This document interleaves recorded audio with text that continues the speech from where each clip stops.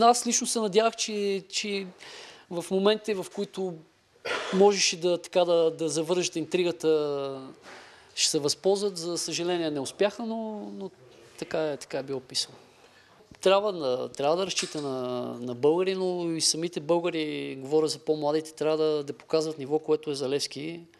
Едно време да, да те вземат в Левски при толкова силни футболисти, наистина си беше успех. Сега може би по-лесно случват нещата при по-младите с един-два матча, вече са звезди, което според мен не е правилно. Не са, голем, не са готови за, за големите отбори с два матча за, за някой отбор от по, по-малкия, от по-малките. Така че не знам, всичко си зависи от младите. Дано да, да има все повече млади и добри български играчи да, да играят в нашите големи отбори.